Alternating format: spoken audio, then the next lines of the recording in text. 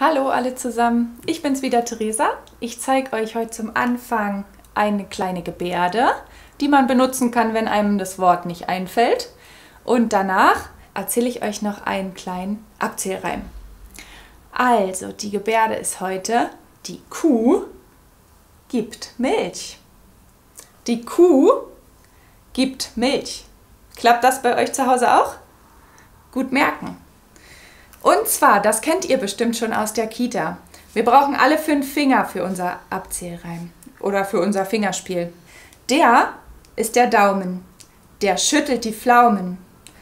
Der hebt sie alle auf und der bringt sie alle nach Haus und der isst sie alle auf. Kennt ihr das? Probiert das zu Hause aus. Bis morgen. Tschüss.